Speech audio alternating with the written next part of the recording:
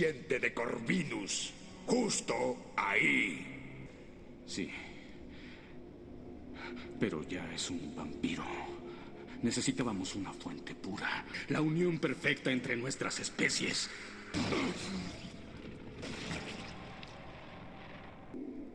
Uno de ellos en mis manos. Pronto, Marcus tomará el trono. Y una ola de rabia y castigo caerá con la noche.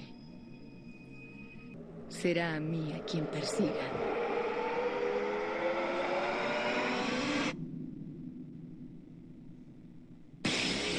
Uh, ok, no, bueno.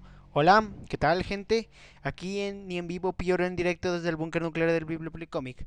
Ahora, una hipótesis de ¿por qué Víctor lanzó la sangre a Marcus?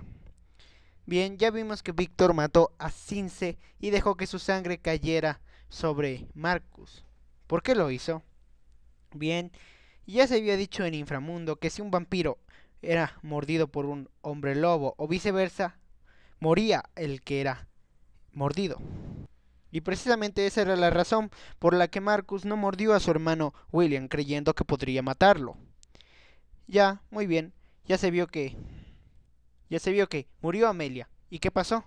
Pues ningún vampiro creado por Amelia, por así decirlo, se murió. Así que por lo que Víctor asumió que esa historia de Marcus de si yo muero, los demás también era falsa. Seguramente se lo habrá dado cuenta con el paso de los siglos. Así que dejó que la sangre de Sin se cayera sobre Marcus para matarlo. Sí, exacto, para matarlo, creyendo que la sangre de un licántropo lo mataría por ser un vampiro. Aunque fue el efecto opuesto. Eso es todo, muchas gracias. Ahora, antes de irme, te invito a visitar mi webcomic, Tea Uncle, columna metálica. Léelo, sé que te va a gustar.